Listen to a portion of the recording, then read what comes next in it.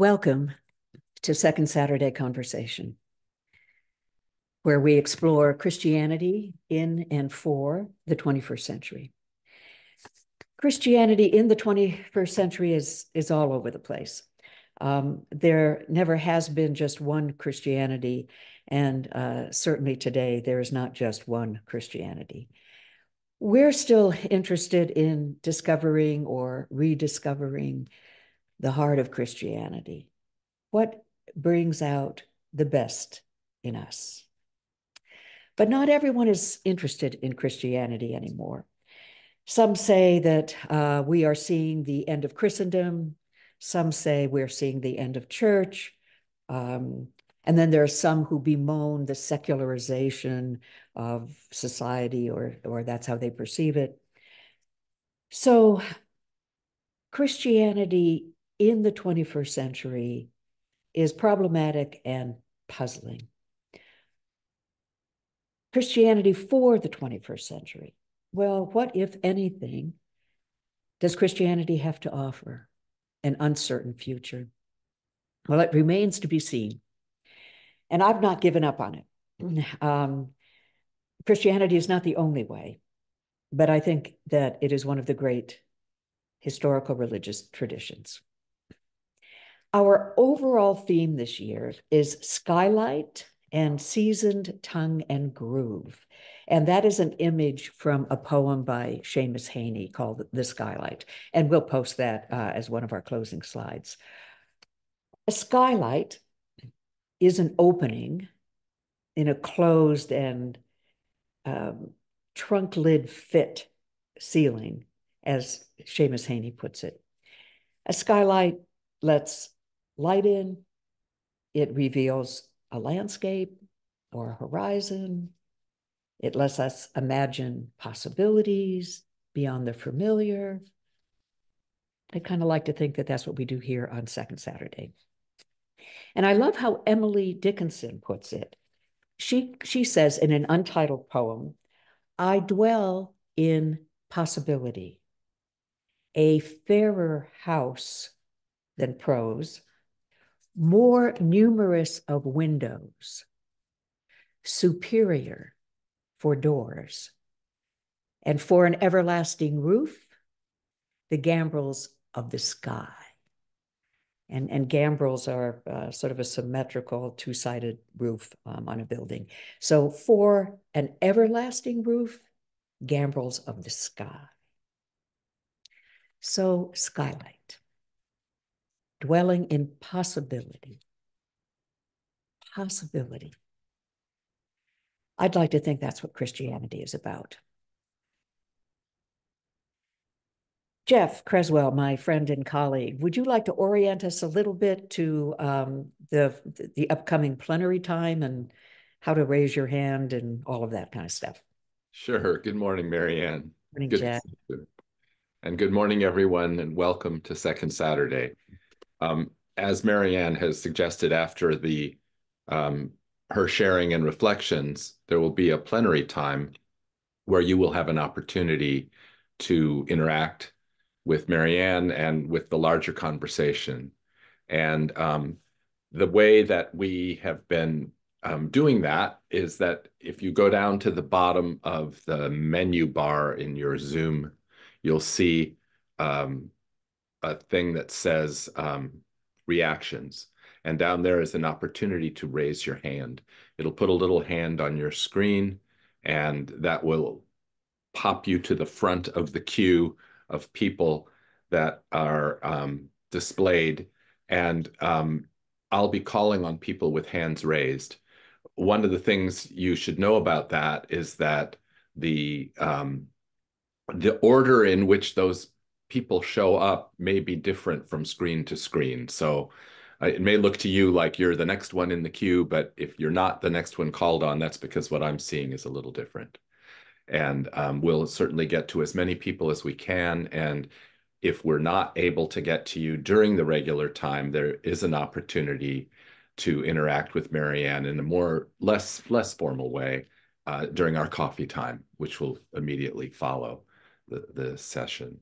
Um, one other thing I'll say is it's very helpful if you do raise your hand and would like to share a reflection or a question that you compose what it is you'd like to say before raising your hand.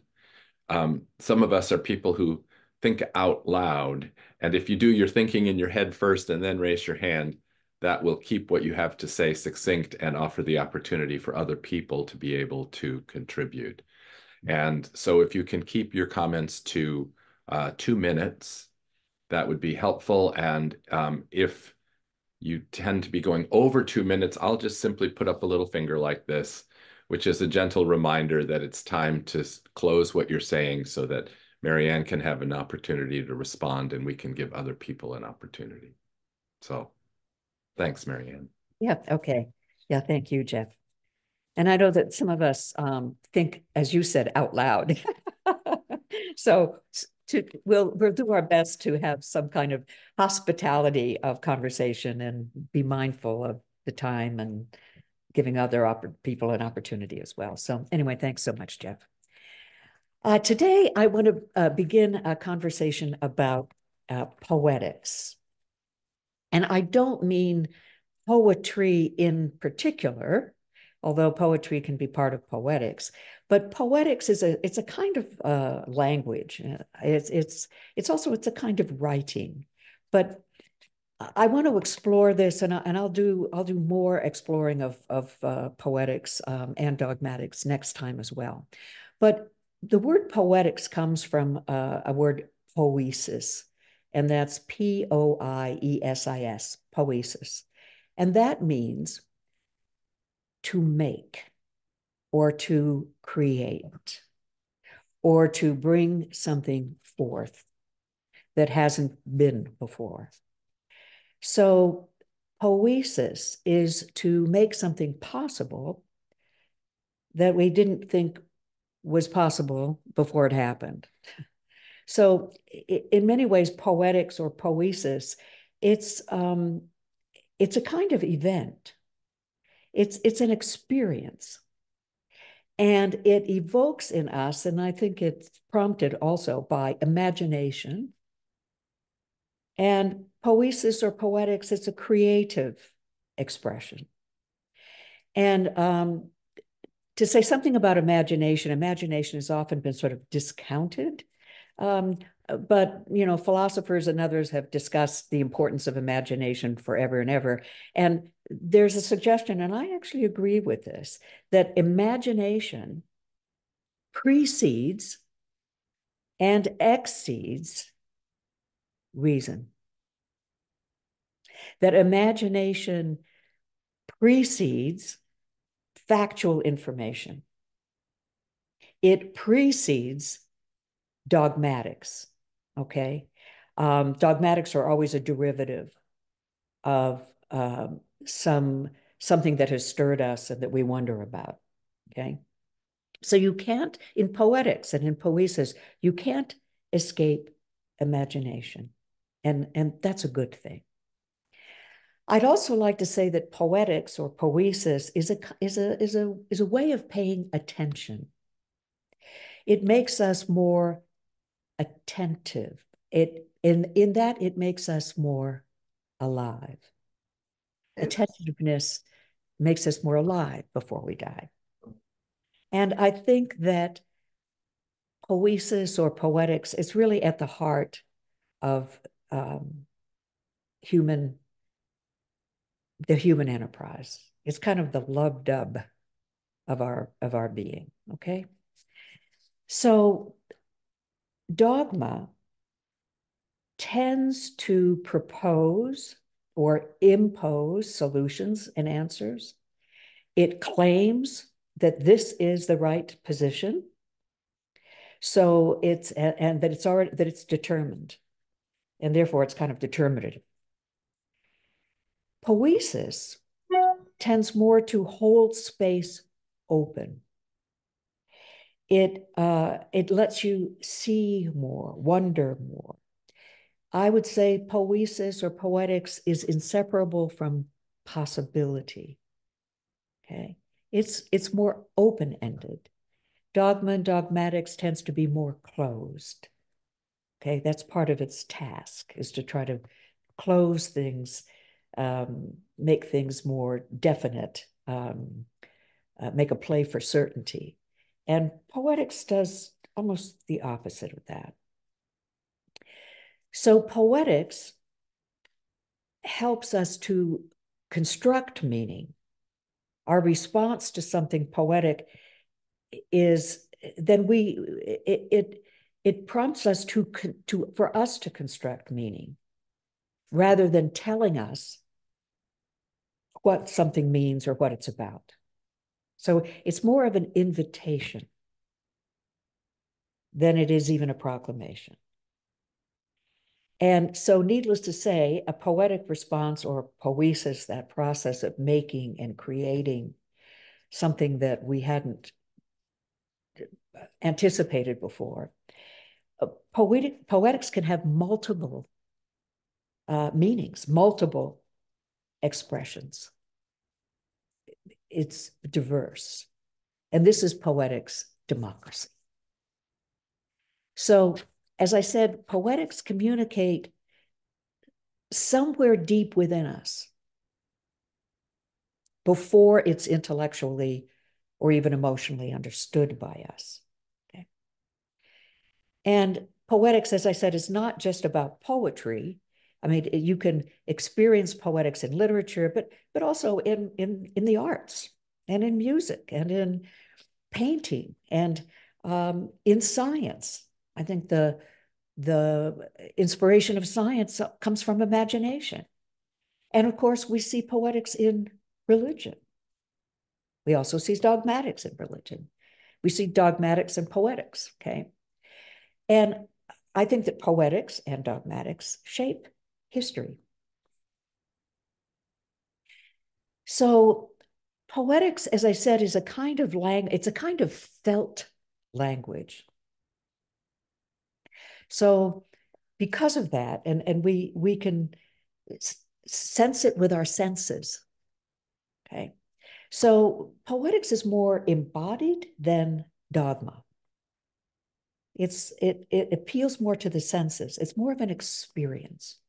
It's I would I would say it is more persuasive than an argument. Because it appeals to us in a different sense. It's we have an experience when we have when we encounter poetics. And and uh, and poetics and the imagery and uh, imagination of poetics is more powerful than abstraction. Again, we we feel it. It there's something about poetics where we would say, I resonate with that. And um, some uh, have said that resonance is more important than relevance. And certainly that would be true in poetics, that resonance is more important than relevance. We can argue that. So, um, yeah, let me also just make one little sidebar comment.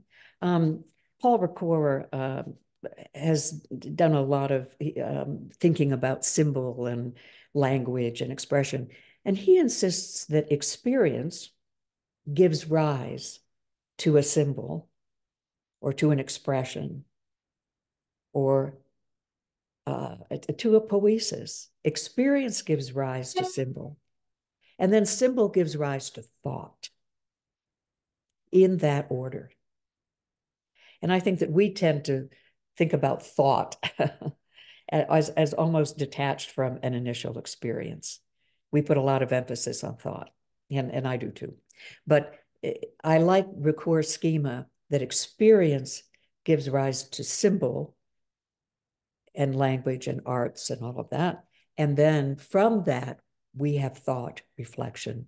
From that, we ponder meaning. Anyway, just that's just a, a little aside. Okay. Um, in talking about poetics, and here I've been talking about it, I, I want to um, uh, give you an example of what I think poetics or poiesis is. And, and I, and I want to draw from an experience that we had with Belden Lane at our last session. Now, maybe not all of you were there, but Belden Lane, um, he's a he's a retired uh, Presbyterian pastor. Uh, he's a professor. He's an author. He has a beautiful hand. Um, he's a lover of souls and all things uh, creation. Um, he, I would, I dare say, he knows the soul's language. He is also a nature mystic, and by that I mean he communicates with nature, and nature communicates with him somewhere deep within him. And I think that he resonates with something deep in the natural world. So, what I want to recount is an experience that Belden talked about in his talk with us. Okay. And I, I, actually happened to um, be present at the very experience he describes. But I, I want to recall that for us because I think that what Belden described had a, if you will, a poetic effect on us. I think it was poiesis at work. Okay, so let me just uh, refresh our memories about this particular incident that I want to recount. Um, this was at Ring Lake Ranch, which is in um, outside of Dubois, Wyoming, which is about 90 miles uh, east of Jackson Hole. So uh, it, it, was an experience at, at Ring Lake Ranch. And at that particular session at Ring Lake, Belden was the presenter. But one of, I mean, we, we talked a lot about grief. We talked about a, a lot about loss. There were a lot of people who had experienced grief and loss. Um, we also talked about the, the wonders of the natural world and um, sort of its its risks and wonders and and um, we sort of um, it was an unplanned part of the the gathering, but we we ended up deciding and and um, Belden was at the head of this, but so were some participants in the in the in the program who said let's sort of have a ritual to express maybe though in a nonverbal way, some of the things we've been experiencing and feeling at, at this session. So we went down to Trail Lake and um, we we gathered at the edge of of um, uh, uh, the land there and looked out over Trail Lake and and it was decided that you know people would take a stone and and embody it with some of their uh, an experience, whether it was something they wanted to release or something that they wanted to offer uh, into uh, uh, you know the the lake, into the river of life, into the chaos, and let it reverberate. But so, however, people wanted to give meaning to uh, the stone that they would select and then throw into the river, into the lake, excuse me, was up to them. But it was to hold and express part of what we had been experiencing around our griefs and loss. And interestingly enough, there was a man who was part of the session who's a First Nation person, and he offered a, a, a prayer, a song prayer, um, in his native language. And so he sort of, if you will, evoked the spirit in this, in his in, in native language that was probably much more familiar to the land than it was to us.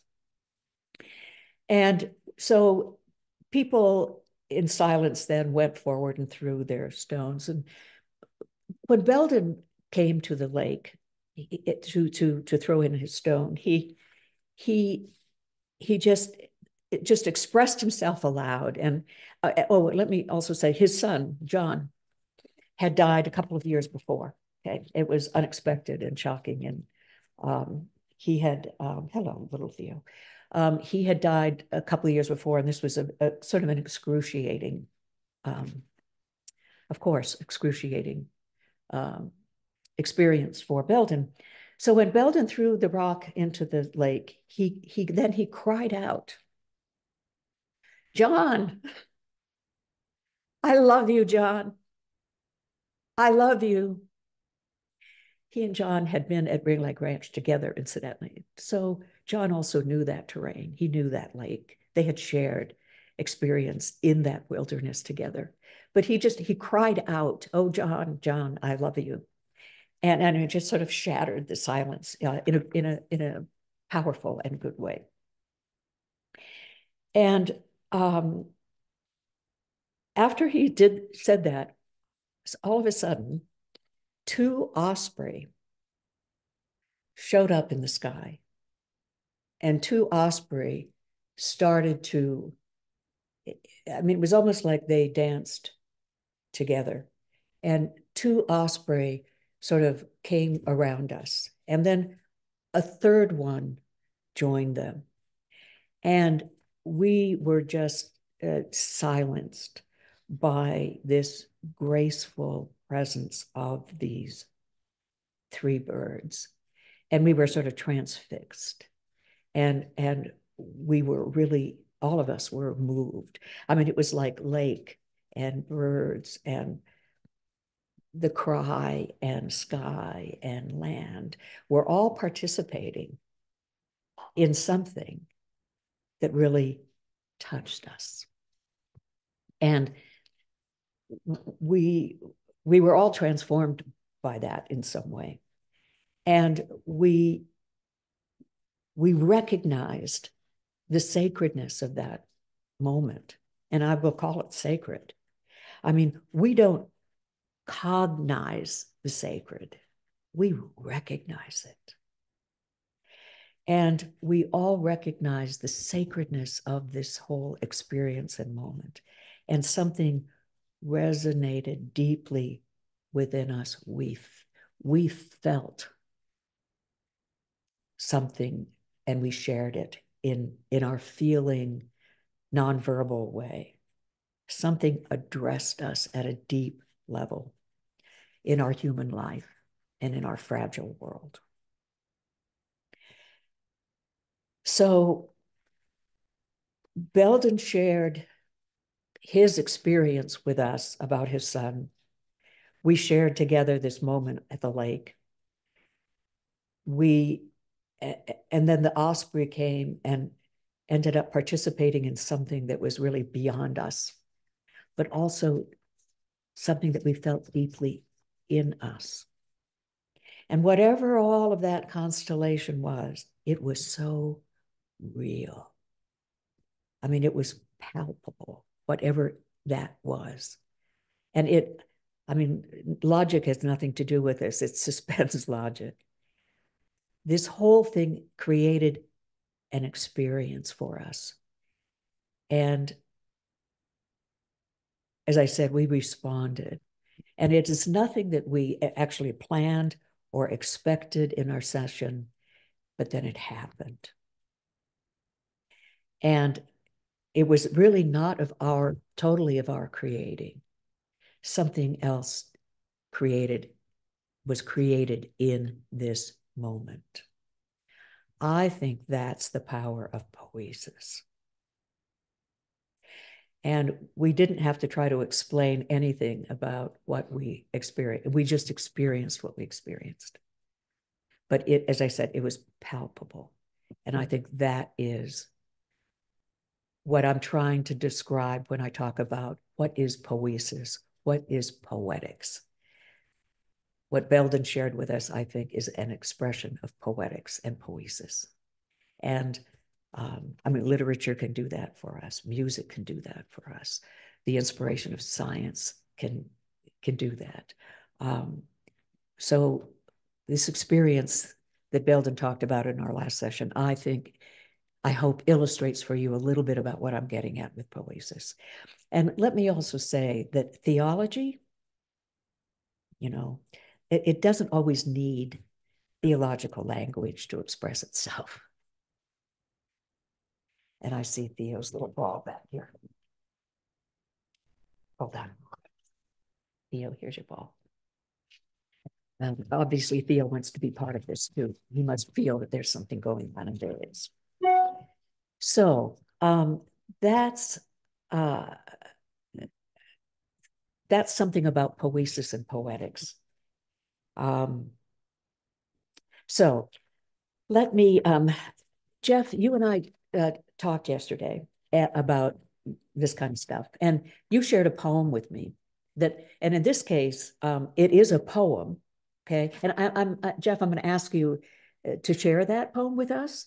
Okay, um, so what I'd like Jeff to do is share this poem. And in this case, it is a poem, but I think that within the poem, it the poem itself is poiesis. We experience something in the way that, that this poem describes um, the swan, that we actually end up experiencing what the poet, what the poem is describing. Yeah. The experience of the poem then becomes our experience. Okay. And uh, and I think that's poiesis. Okay. So um, uh, to, to, as another illustration, uh, Jeff, do, would would you share that poem and sort of your reflections on that? I, I I'd be happy to, Marianne. I, as you were describing that experience you had with Belden at the lake, it, it reminded me of Thomas um, Thomas Merton talking about a hidden wholeness, mm-hmm. and it, what it you were connected to that hidden wholeness in that moment, and it was beyond words, mm. but it was a deep knowing, and mm. I think this poem addresses that as well. The poem, the poem is called, known, by the way, who would have known that there was this this uh, this hidden wholeness? Yes, in an in an in a time when we were all experiencing our griefs and loss. Loss. And how much we was unanswerable about why these uh, deaths happened. And yeah. uh, how much we can't explain about our own sense of grief and loss. Okay? Mm-hmm.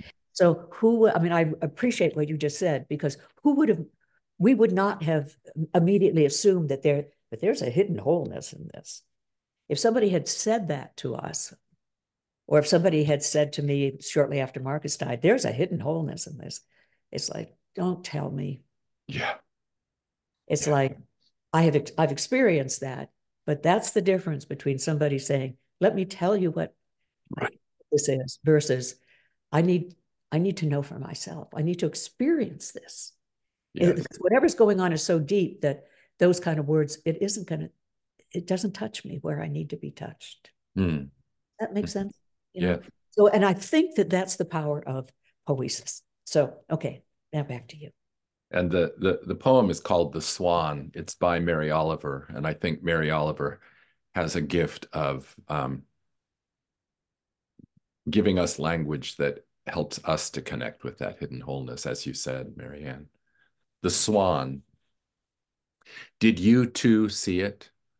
Drifting all night on the black river? Did you see it in the morning, rising into the silvery air?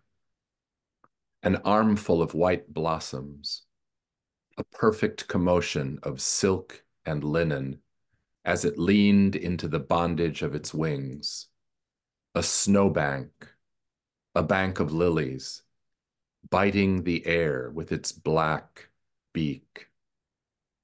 Did you hear it fluting and whistling? A shrill, dark music, like the rain pelting the trees, like a waterfall knifing down the black ledges. And did you see it finally just under the clouds? A white cross streaming across the sky, its feet like black leaves, its wings like the stretching light of the river? And did you feel it in your heart, how it pertained to everything? And have you too finally figured out what beauty is for? And have you changed your life?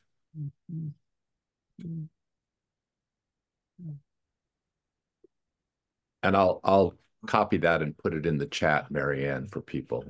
Great. Thank you, Jeff. Great.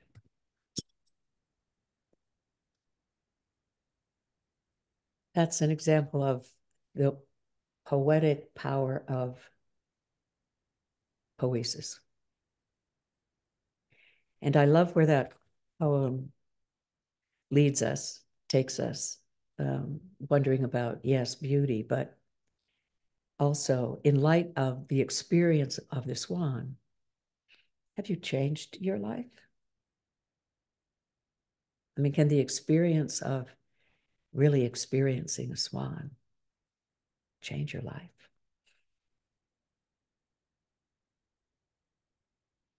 I would say yes. So to um, uh, shift the angle a little bit about language. Um, words, whether they're poetic or dogmatic, can shift our perceptions, can transform us. They can transform a sense of who we are. And words, whether they be poetic or dogmatic, can um, shift how we understand. So language can bring out the best in us or the worst, or expose the best in us or the worst in us. I mean, language is very, and I want to um, say a couple of cautionary, make a couple of cautionary comments about language. Um, and I'm going to draw from um, Ruth Ben Ghiat. I'll say more about her in just a second. But um, what I for us folks here on Second Saturday, I, I don't want us to fall asleep at the wheel, or as as um, Annie Dillard says, we sleep to time's hurdy gurdy. We awake if we awake. Well, I think those of us here on Second Saturday are um, intent on staying awake. So um, I'm going to draw uh, briefly from a blog by Ruth Ben Ghiat. Her blog is called Lucid. Um, she wrote this um, on the 28th of February, so this is a fairly recent blog. Uh, she is a professor of history and Italian studies at New York University. Um, she's an American historian and critic, cultural critic. And she is a scholar of fascism and authoritarian leaders and characteristics of authoritarian leaders. The blog entry is from a talk that she gave um, in mid February. And listen to the title of the talk. The title of the talk is What Happens to Language When Authoritarianism Takes Hold? What happens to language when authoritarianism takes hold? And here's her subtitle resist the perversion of language and the destruction of meaning. Resist the perversion of language and the destruction of meaning. I would say that is a call to us. She says, as, as, as I did just a moment ago, that language can change the way people think and feel and can change the associations we make when we hear certain words. Then she goes on to speak about the persuasiveness of propaganda and how, how language can be, um, uh, as she says, turned upside down. And here she gives some examples, like when she says, the rule of law gives way to rule by the lawless or those who take away our rights pose as protectors of freedom, or those people who stormed the Capitol are patriots, or, and she quotes Tucker Carlson in an interview he had with Putin, uh, in justifying actually Putin's assassination of Navalny,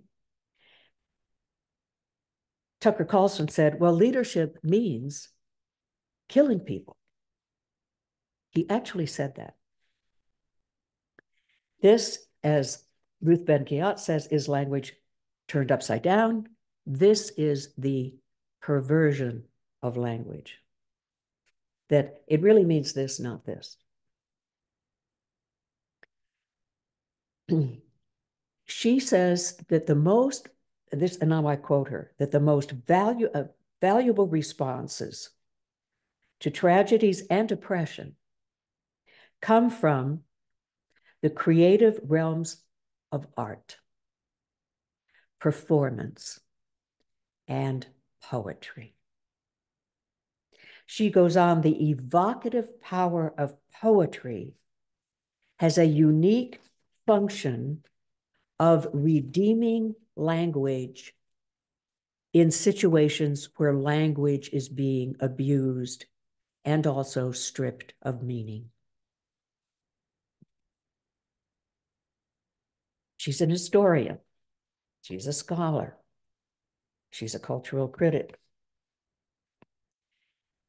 She says that it is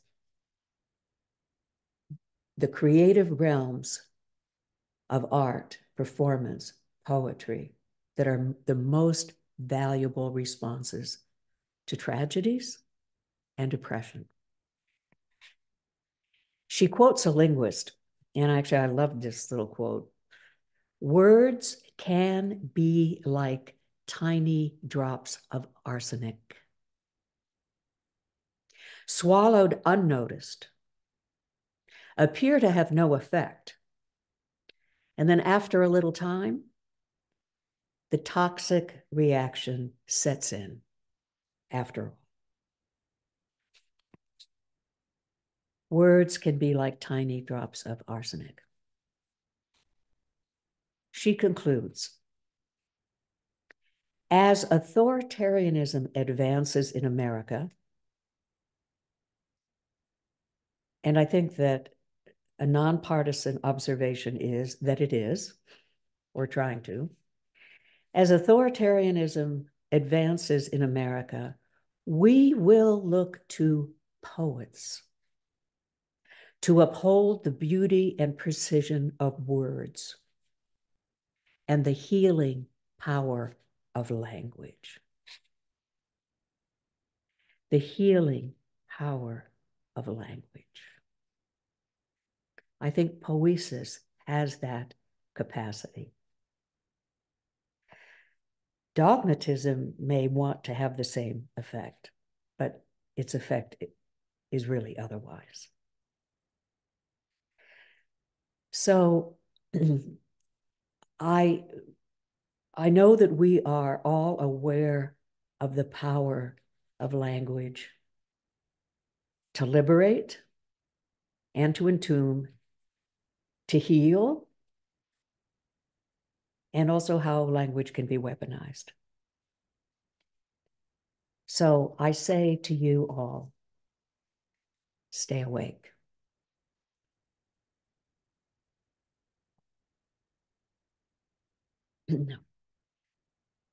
One more um, uh, reflection on my part about language, again, in a, from a slightly different uh, angle.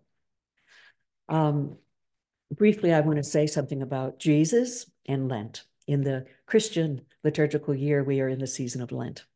And actually, before we meet next time, we will we will have had Easter. Easter is early this year; it's March thirty first. So I would say, and this is not uh, unique uh, to me, others have made this comment uh, in many ways, that Jesus was a poet, that Jesus was a verbal artist, and that Jesus' uh, poetry, his teachings were more like poetry. They were parables and stories, and he uses imagery and and and actually his teachings kind of resist closure you know, um, his teaching, Jesus sort of defied succinct dogma. Um, Jesus and his teachings, I think, were more like an event where we ask, what's happening in this? What just happened in what he shared? What just, um, what did we just experience?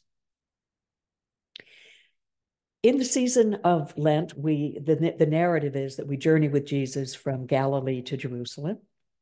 And traditionally, it's uh, been a time of penitence. That's kind of the emphasis uh, these days, um, where we uh, uh spend time thinking about our sinfulness and our shortcomings. Okay.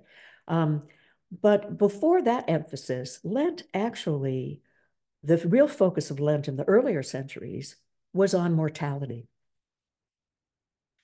Um, on all of our mortalities. I mean, Jesus died, we will die, okay? The reality of mortality. And, and by the way, please don't think that mortality is the price of sin. So, as we know, the, the Lenten journey ends with Jesus' execution. And Jesus was killed by the domination system of his day, in large part because Jesus embodied and spoke to in a poetic way, in the, with the power of poiesis, a counter narrative to the narrative that the domination system said was the way things are, the way things need to be, the way things are supposed to be. And Jesus was a counter narrative in body and in thought and teaching to that presumption that the domination system that that was the way that things need to be to be best and to function best jesus as a counter narrative said something else quite quite different than that is possible and he lived that. He showed and embodied this does not have to be this way. Something else is possible. And his followers experienced that other possibility. They experienced it in him. They experienced it in the way that he said we can live and be with one another. Um, it was it was another way of being. I suggest that Lent is more a season, knowing the reality of our mortality, that this is a season to take life seriously and to consider and recognize that life is a gift that the that that life is the gift of our being that we get to be. And that our gift in return is our becoming which is an ongoing part of life to become to um, reflect again and again on how we live and love and hope and make possible what otherwise would not have been. And our gift to life includes making things possible so that the future can be better, even a future that will not be ours. So for me, the Lenten journey with Jesus has, has nothing to do with Jesus dying for our sins. So that um, we can, that Jesus somehow will uh, make us right with God and then give us entry into heaven. I, I say this, this isn't, that's not why we follow Jesus. Following Jesus is not some quid pro quo. It's not about some transaction.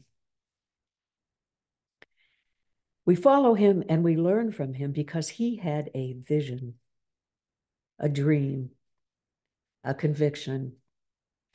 Uh, I might even say an intuition about us and how we can live our lives with one another and love one another. and about things that are possible that we might not even yet imagine are possible. And that dream, that kind of knowing that there is something more, drove his passion to where he risked everything for it.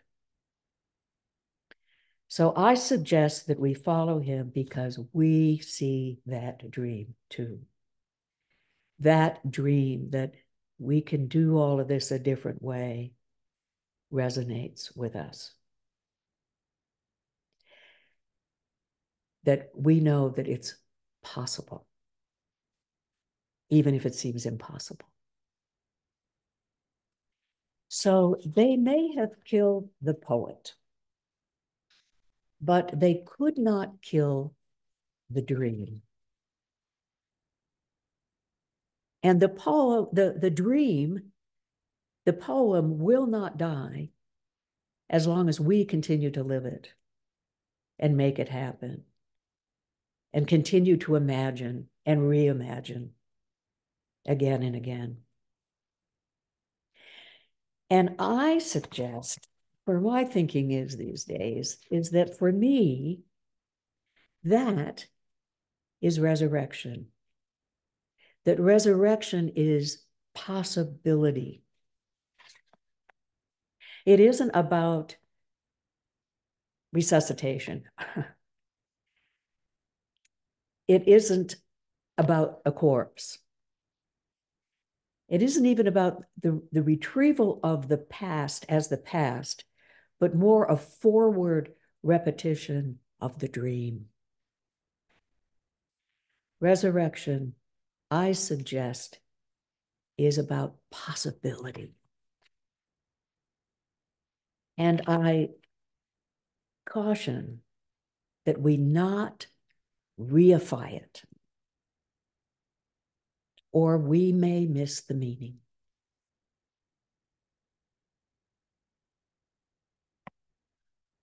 Okay. I'm really curious to know what is um, uh, stir, uh, turning in your own thoughts. Um, I'd love to get your uh, reactions to uh, sort of my uh, what I've been pondering today. Okay. I mean, I've talked about poiesis and the power of poetic language. I've also talked about the capacity of language to deceive and destroy. And, and also, I am using the language of the Lenten uh, season a little differently. I mean, I'm using different language to describe what I think the Lenten season is about. So I would love to hear from you what's coming up in your mind, what kind of prompts my thinking is for you, uh, what your thoughts are about all of this. And um, let me um, uh, take the time to uh, read the discernment listening guidelines. And that may also give you, even though I'd like you to pay attention to the guidelines, uh, most of you are familiar with them, but also give this will give you a chance to maybe think about what you'd like to share. So um, a reminder about this, the listening guidelines, and this is part of our hospitality, okay? By the way, dogmatism doesn't have much linguistic hospitality. Poiesis has a lot of linguistic hospitality. Um, so here, here are our guidelines for, for our conversation. To take time to become settled in God's presence.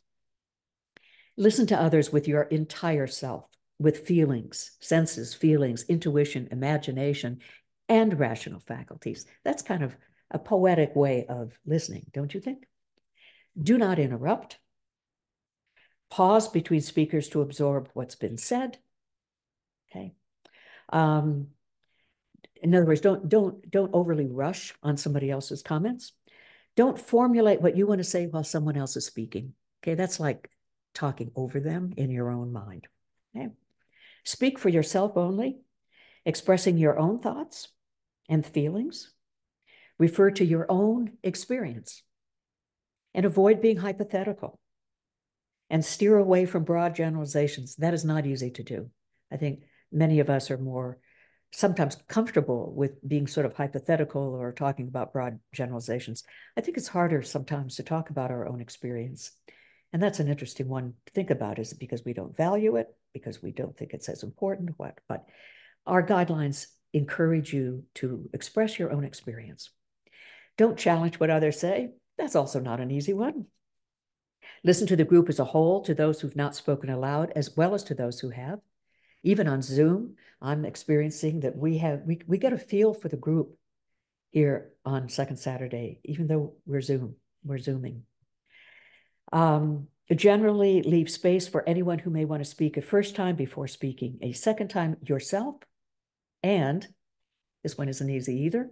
Hold your desires and opinions, even your convictions, lightly. so um, we we do our best to um, to abide by these guidelines. So let me just give you um, 30 seconds uh, before we move into plenary to see what comes up in your own thoughts um, and what you would like to share in light of my conversation today about poetics and dogmatics. And I suggest that what the world needs now is poetics, not dogmatics. So let me give you just 30 seconds in the silence, and then we will begin our conversations.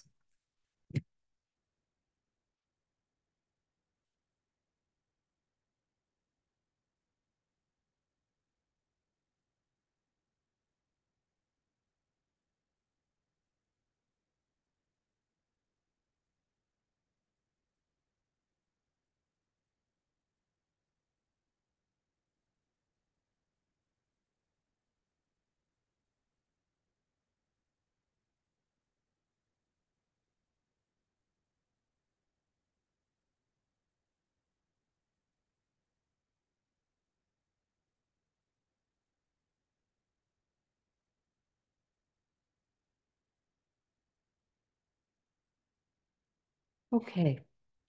Jeff, do you want to help facilitate this for us? Sure, sure.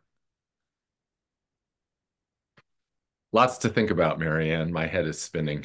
and that's kind of my intention. You know, it's like just give us stuff to think about and and uh, I, I want it to provoke more thought for us. I'd like to think that my thoughts provoke your thoughts and your thoughts will provoke more thoughts and that'll provoke more conversation. That's kind of what I'm interested in. Yeah. And see where that'll take us. Yeah. Well, there's some some interesting comments coming up in the chat. I think people are people have have, lots of ideas. So it'll be nice to hear from folks. And Let's, I'm just sorry that I don't see the chat, but that would be a, a huge distraction for me, even though the chat is valuable for uh, and is and is an important part of our conversation. Yes, yes, it surely is. And just a just a reminder, I'll call on people to unmute themselves who have their hands raised. And um, when you speak, try to limit your comments to two minutes. If um, if you start to go over that time, I'll just put up a finger like this as a gentle reminder that it's time to wrap up so there can be uh, some give and take and other people can have a turn. So Let's... Let me let me just quickly say one more thing about the plenary. You know, yeah. We have a, um, a, a, a, I'm just so happy that so many of us return again and again and again to Second Saturday. If if there are some new people here, um, I just want to assure people that we're we're a, a welcoming, kind, accepting group. So if there's somebody who's fairly new who hasn't spoken before at Second Saturday during plenary, don't don't be too shy. It's you you are most welcome. And you know, this is not a this is not a test. you know, this is this is just an opportunity for us to um, engage um, maybe uh, uh personally with this time. So uh, feel welcome. Yeah, thanks. Agreed. uh, Naomi, Naomi Jacks, would you unmute yourself?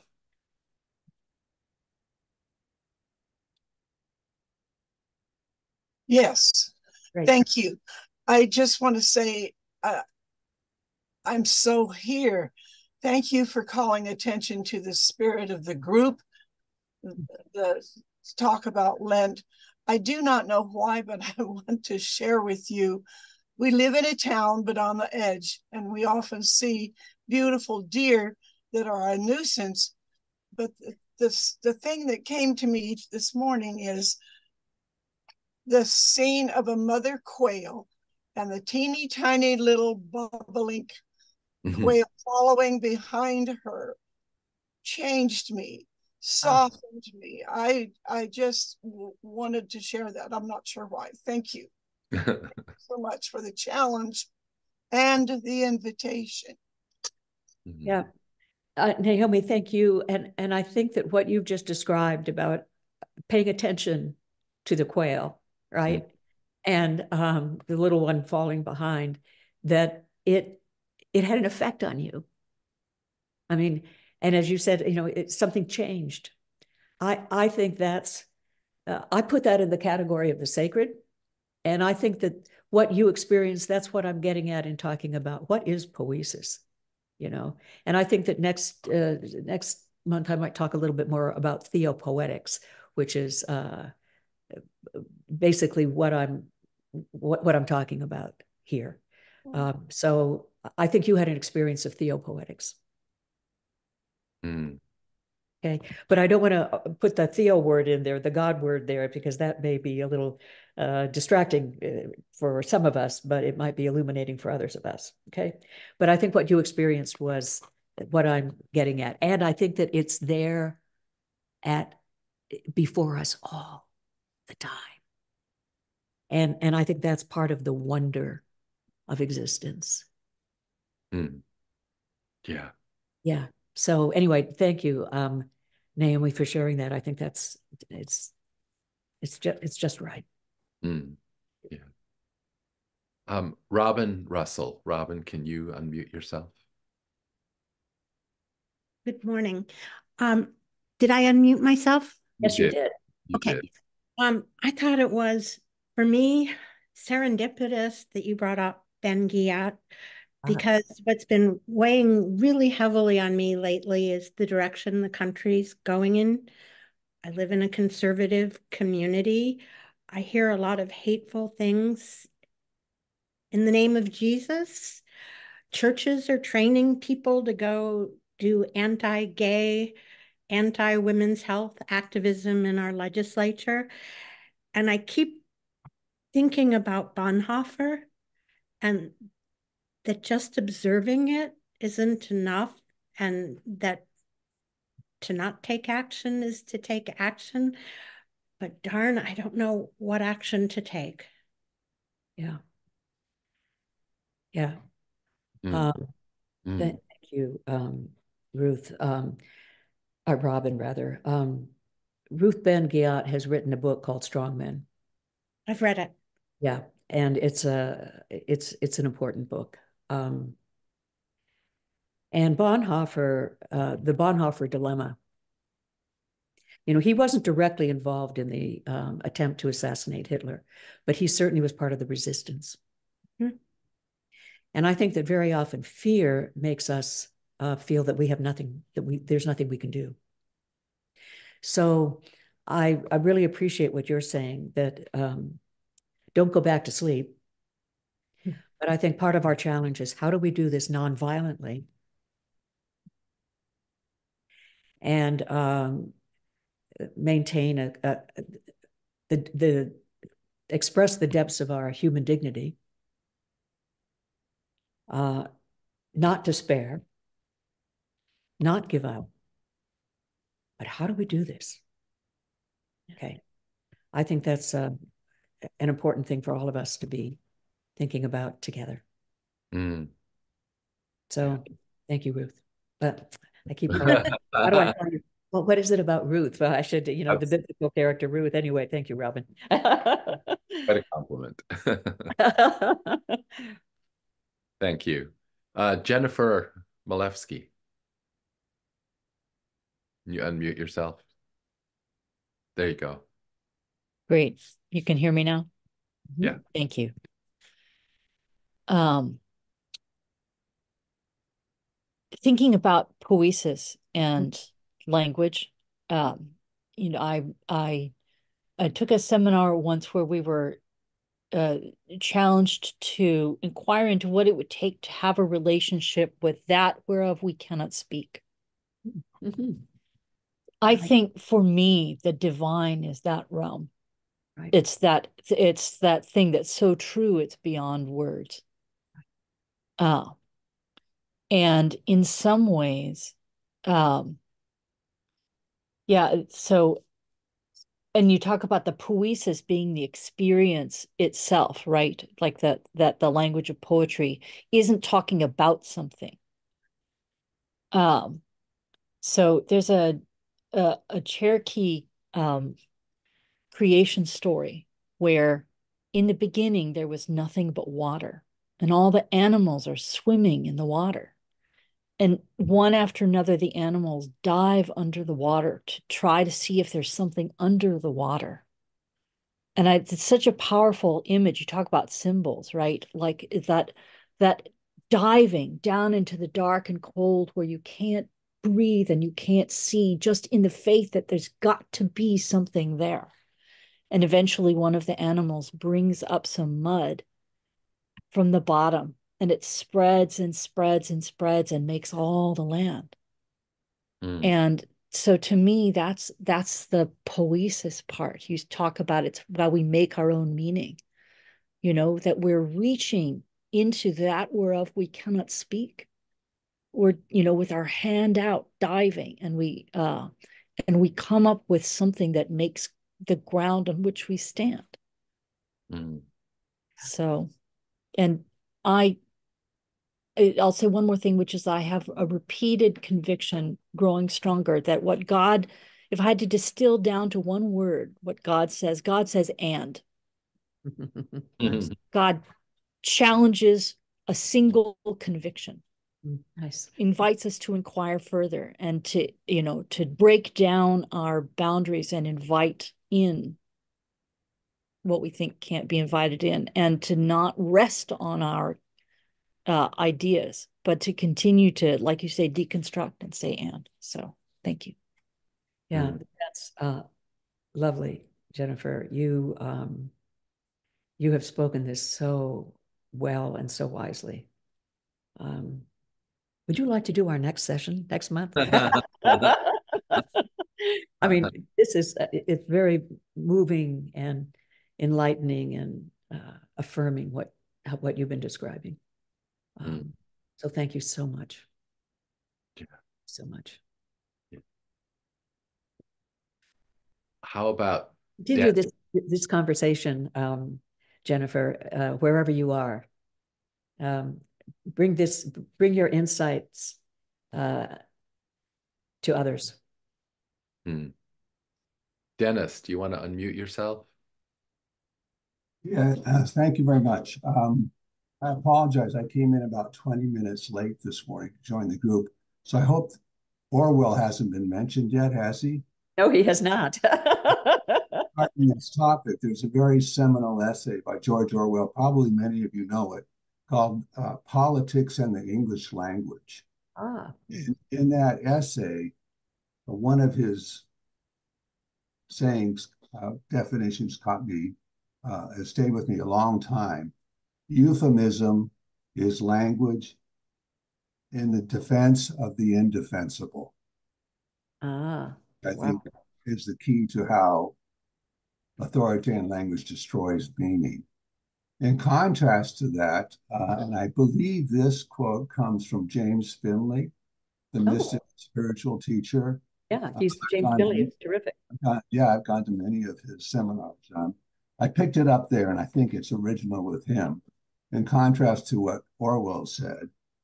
He said, Poetic poetry is language in service of the unsayable.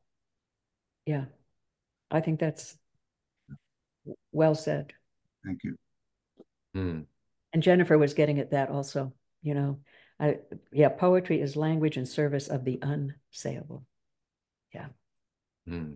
Nice.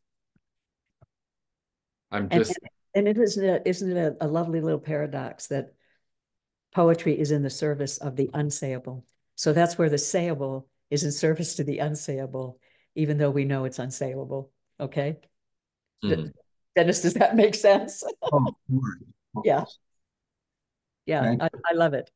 Mm. The sayable and the unsayable. Ah, ah, that is in, that in which we live and move and have our being. Marianne, I just I, I want to share something from the the chat that just yeah.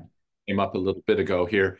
Um, and David Brock, if you are there and you want to unmute yourself, that would be great. David quotes um, Walter Brueggemann, and this is the quote.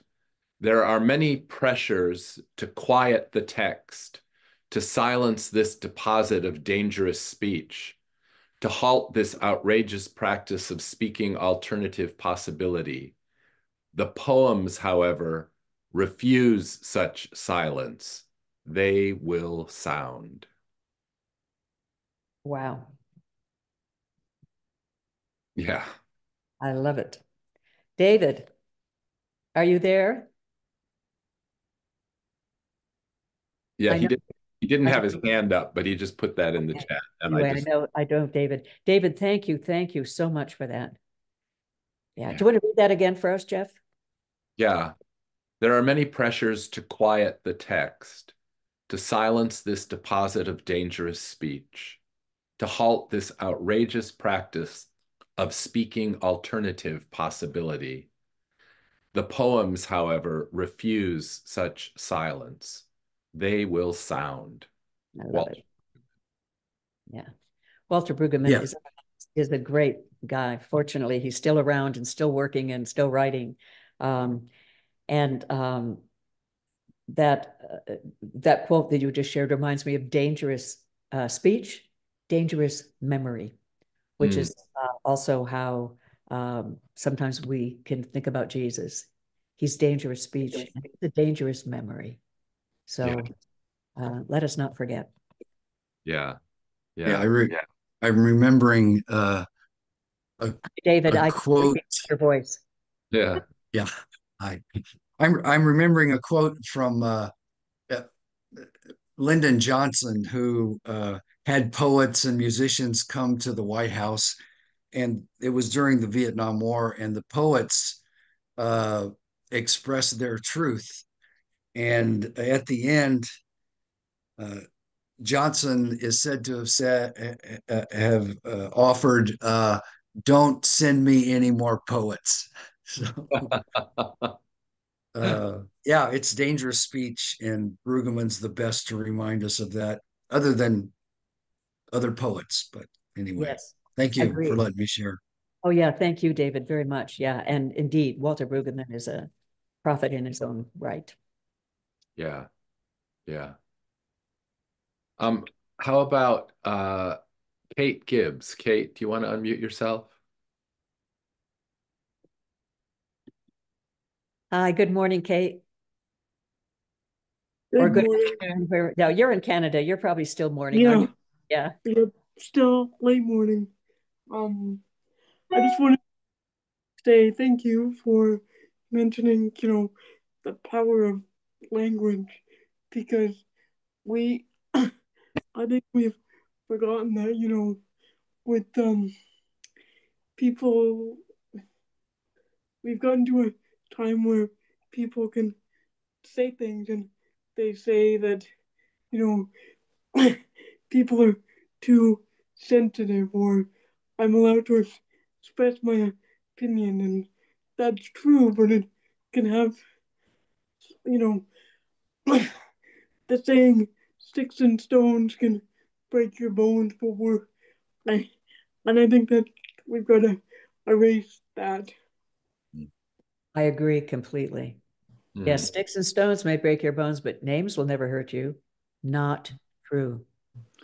I yeah, it's Yeah. hard because you know with people like Eckhart Tolle, you you learn to like um try and be mindful and and um forget about whatever's rambling on conversations in your mind, but it's really hard to forget.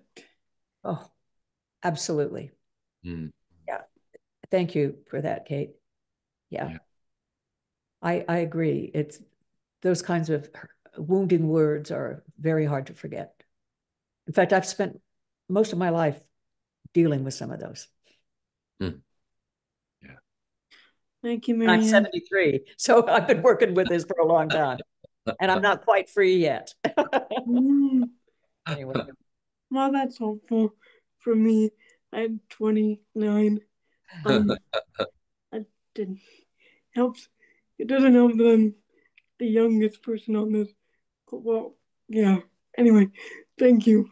Thank you. Thank you. Thanks, we, we, we need you. We need you. That's part of the conversation. yeah, you're our future. So thank you. I'm glad you're here. Yeah. Thanks so much, Kate. Um, Marlene Krupp. Marlene, it's so nice to see you, I have to say. Marlene is a friend of mine from a long time ago, Marianne. Oh, fabulous. Great. Um, we've been enjoying these second Saturday uh, conversations for quite a while now, and it's good to see you, Jeff, as well. I accidentally put my hand up. I wasn't intending to make a response, but but thank you anyway. You don't want to take the floor for just a minute? Oh, thank you. oh. Anyway, well, at least it got you and Jeff to see each other face to face. Yeah, so that's, that's perfect. right. That's glad right. you're here. exactly. Exactly. You know you're here. Um, how about Linda Ashton? Thank you for all that has been said today. Uh, the list of things that you have triggered uh, of of is is I can't do it in two minutes. Um, and I have absolutely no problem sharing my experiences, but I absolutely love the the line that that uh, Johnson said, "Don't bring me any more poets." That's kind of the the the sense I get sometimes when I share, you know, something that's that's really vital to me. Um, but I will share one experience. My brother was killed in Vietnam, and I it took me decades really to even try to rec- be able to have any kind of recovery from that. And we, we belong to a Oklahoma um, Broadway um, group. And so, you know, Broadway shows come through, and Miss Saigon was on our list. Um, and I usually I listen to the music. I couldn't listen to the music that day, and but you know went anyway. And I was telling everybody around me, my brother was killed in Vietnam. I may cry, you know, just be prepared. Um, and before the the uh, uh, production began, I remembered a Quaker saying, uh, friend, let me hold your burden. And so I got on Facebook and asked my friends, can you hold my burden? Please hold my burden uh, for the next couple of hours. Uh, when I walked out into the parking lot, I didn't need to pick it up. That burden was gone. Uh, I mean, and so, you know, to share that with others, yeah, right, Linda, yeah, right, yeah, right. Well, I know it's right.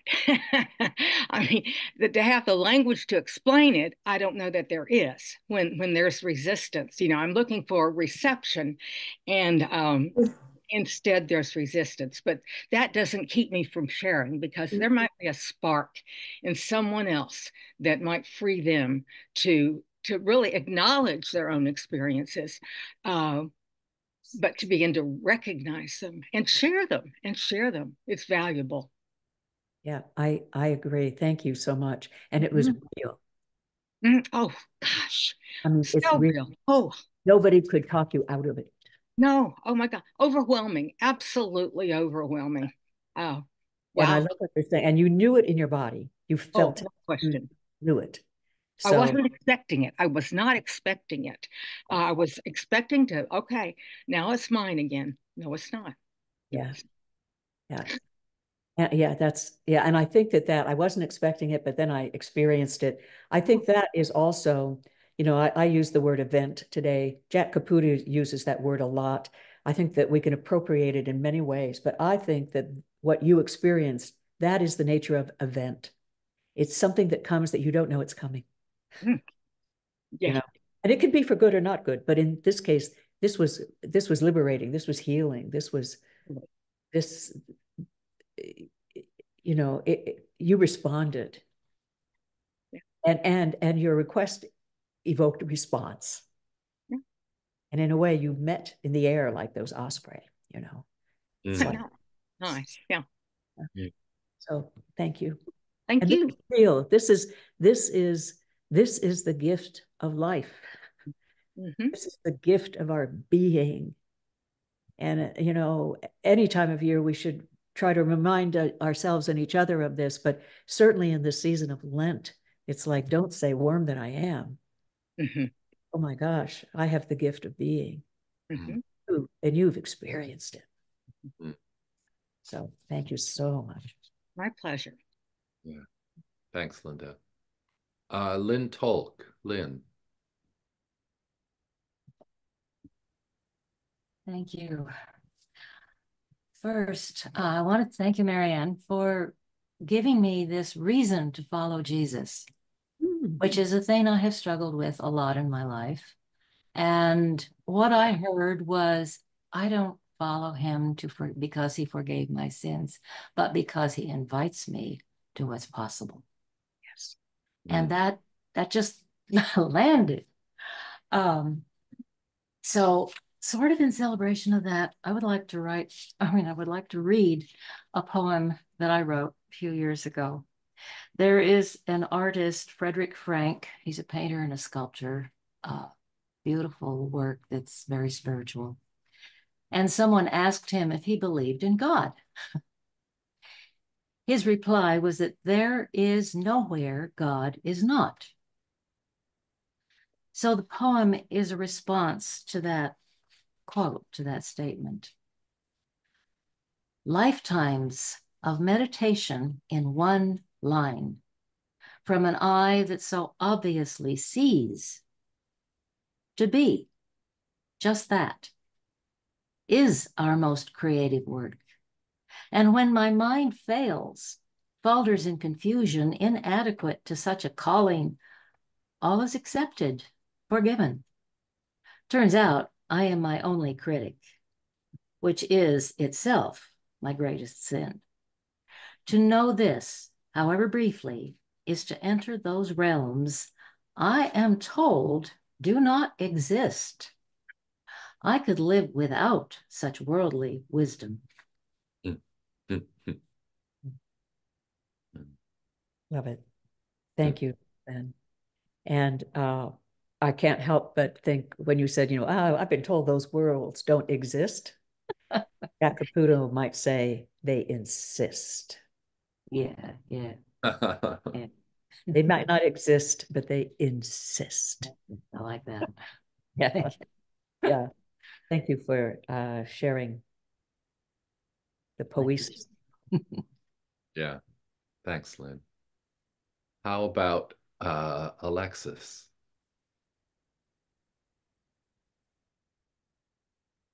You're you're not you need to unmute yourself, Alexis. There you go. There we go. Okay. Thank you. Um, I really resonated with uh, Marianne's comments on Lent.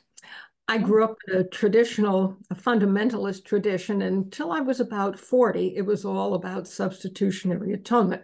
At that point, I discovered Marcus Borg and John Dominic Crossan and uh, began to see things differently. You saw the light.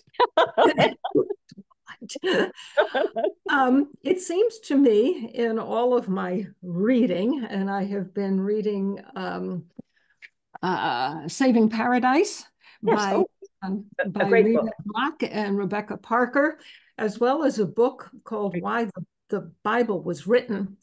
Uh, and it seems to me that the institutional church has a vested interest in the substitutionary atonement approach or path. And I wonder if you think that might ever change. Yes.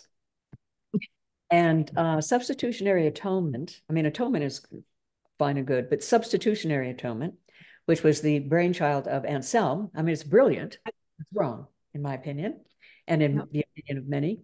It didn't come around until around 1054. So halfway through, and you know this, halfway through our Christian history is when substitutionary atonement came in. Okay. So talking about thought then telling us what the experience of Jesus was in retrospect, that's I, I, I think that's a, a misleading because uh, Anselm had thought about this, but I don't think it really had was was really reflective of what Jesus' life and ministry was about. Right. Interestingly enough, it, there was a, you know, I, I don't know my church history all that well, but the Eastern Church and the Western Church were divided at the time of Anselm. The Eastern Church never bought into substitutionary atonement. Okay. So um, even though it's the default mode for a lot of conventional, even classical theological Christianity, um, I think that um, it is uh, on the, I, I, think it's overdue for uh, deconstruction, which, as you know, is not a negative thing. Deconstruction doesn't mean smash the state. It just means let's unpack this, open this, open this, and what is what's behind this? What's behind this? Where did you get this? To get to the heart of the matter, if you will, and to see if there is a heart of the matter. I think that substitutionary atonement does not need to be an accepted doc doctrinal given in Christianity. In mm. fact, if we don't re uh, uh, release that and um, re um, examine it and and re-articulate what Jesus' life and death was about, I think that's going to go down with the ship. One would hope. Um, I think that also, if you said my my personal say, saying is, I try to be a follower of the teachings of Rabbi Jesus, and as opposed to the substitutionary atoning death and and so forth. But it's um, and so belonging to the Westar Academy and belonging here to Second Saturday is really helpful. Also seems to me that um, following the teachings of Jesus cannot be monetized by the church, mm-hmm. whereas um, being forgiven and you know doing this and doing that and buying your way out, right. you know, indulgences and all of that. Yeah, that's that's you know it's that's transactional, and I don't yep. think Christianity transactional. It's is, absolutely is transactional. transactional. Yeah. And Jesus was never transactional. Jesus never said, if you want to eat with me and the guys show me your ID. Yeah. Um, you know, said everybody's invited to the party. Yeah. So thank you. Yeah, yeah. Thank you. Thank you. Yeah. Yeah, I think Christianity has more to do with the quote unconditional, whatever that is. mm-hmm. That's a whole nother thing. But then it's not a transactional uh, quid pro quo. You believe this, and then you'll get this as your. Yep. Yep. Mm. Yep. Thanks, Thank Alexa. It, Christianity is actually a counter narrative to that, in my opinion. Yeah. It's a counter narrative to transaction, but, mm. but it's succumb to conventional transactional thinking. Where there's money to be made. Yeah. And I'm an accountant, so. yeah, okay, so you know whereof you speak there. uh, uh, uh, thanks. right. Uh, Marianne Mead. Marianne. Great. Um, I just want to ask you a detail, Marianne. Um, when you talk about you talk about uh, poiesis, poiesis, and yes. you talk about poetics. Yes. Where is the link? Because um, po uh, theopoetics, I understand, is a, sort of study of how um, we can make sense of the texts. I would say that's theology. Theology, okay. Because that's how do you make sense of the text? I mean, yeah. that's part of it. Logos, thinking, all that. Yeah. Yeah. Poiesis, which is spelled completely differently, P O I E S I S. Um, I come from a sort of medical background, and poiesis to me, it makes me think of erythropoiesis, which is the formation of red blood cells. So, oh my goodness, wow. Yeah, erythropoiesis. So you've got some diseases like sickle cell or whatever, where you have uh, a problem with the formation of red blood cells, and so people get pretty anemic. Now I ask myself, that is not what you mean. I think it is not what you mean, but it is formation. It is making formation of red blood cells, for example. So I ask myself, where is the link between the two?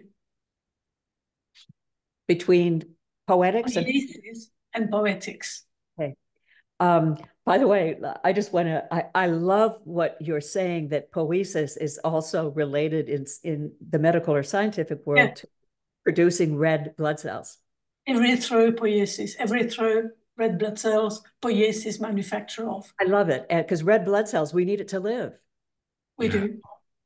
So I love the fact that the word poiesis, to make, you know, yeah. whatever is related to um, making our red blood cells. It's like, yes, if this is about life, it's about yeah. what gives us more life, right? But I mean, I think all cells of the body somehow must have go, must go through some kind of poiesis because they need to be replaced. Except our brains, actually, we don't usually yeah. replace. And I love that too. This stuff needs to be replaced. This is an open system.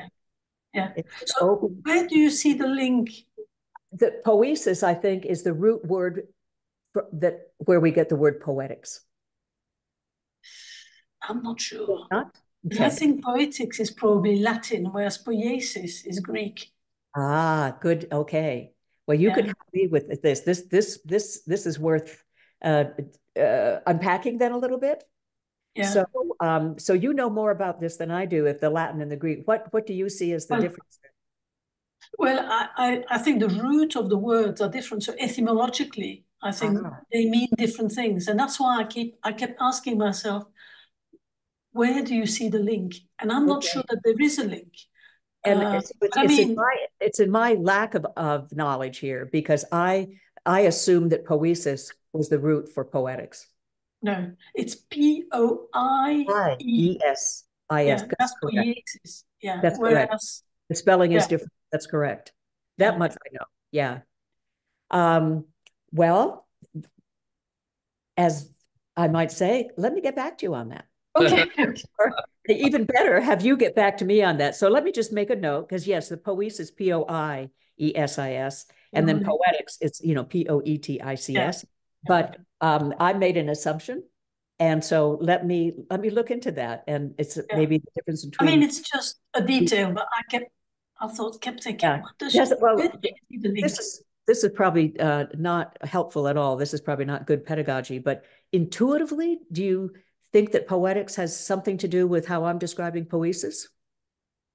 Um, doesn't really make that much sense to me, but it doesn't mean that it doesn't make plenty of sense to you. You know.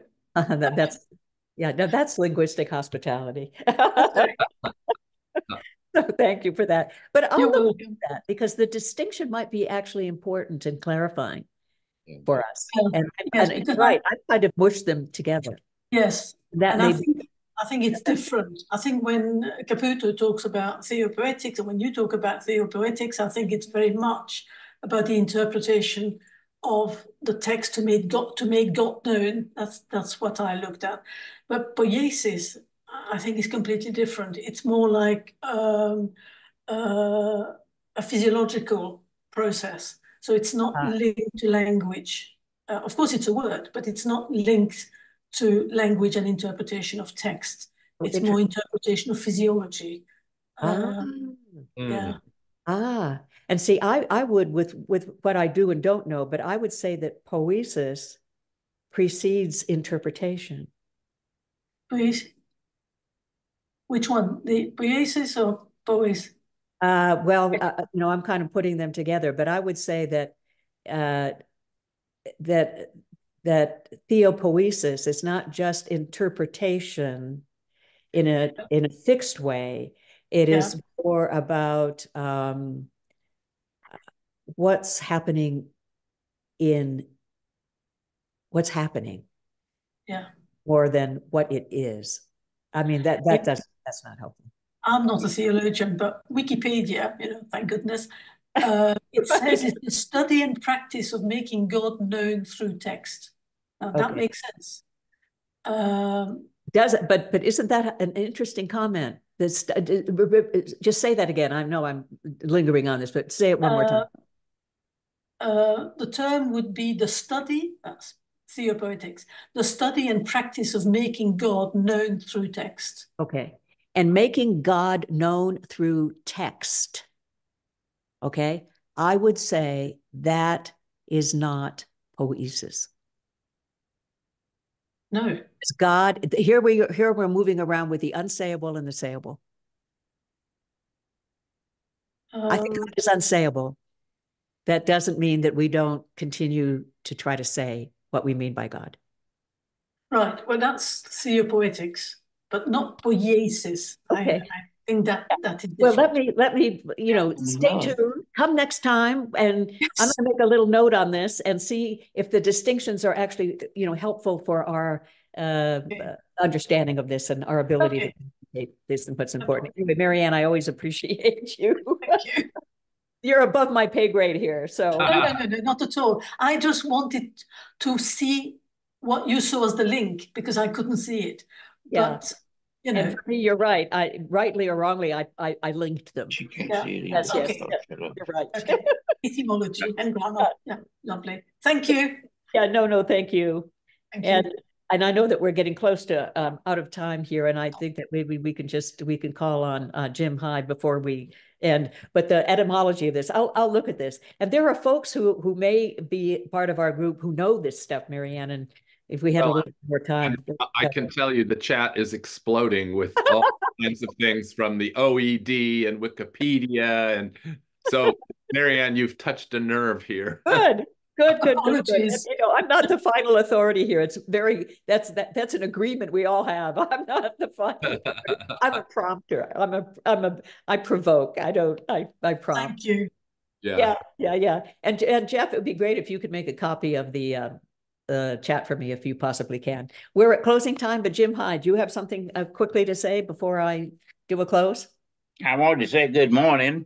Well, then, and, good morning to you. And I wanted to say that I hope everybody on this Zoom meeting was impressed as I was with Joe Biden's speech the other night.